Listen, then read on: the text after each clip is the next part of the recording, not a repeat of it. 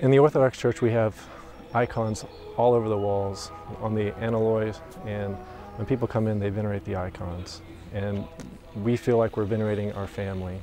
These, these people are very close to us, they're dear to us. These icons are like family pictures for us because our faith isn't an ideology, it's a family history.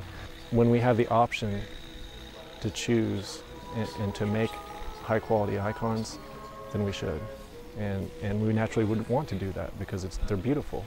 The really amazing thing with Damascene Gallery is that it's actually a portal for iconographers to connect with the faithful.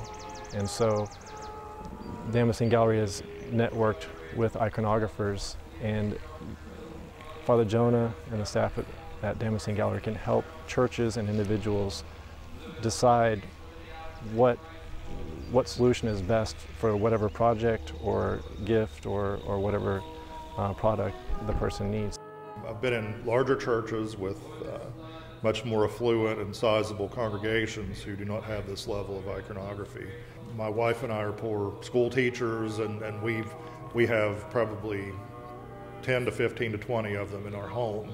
Um, and they, they really um, can just add immeasurably to the spiritual life. You know, even before uh, I was Orthodox, I always had an appreciation for the artistic quality of them. Um, but now that I am Orthodox and, and I'm buying these, uh, knowing that the person who made them is a, is a very good, uh, godly man, and that a lot of prayer has gone into these, uh, it's, it's very, very important.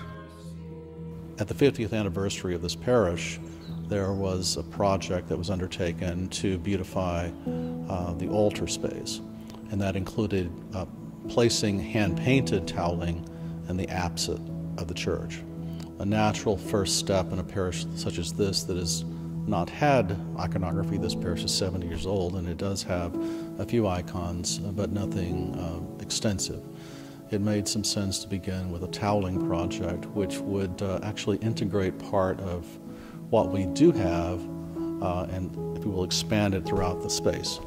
So Father Jonah came over, photographed those images, and used those as the basis for the toweling that you see in the church um, nave here.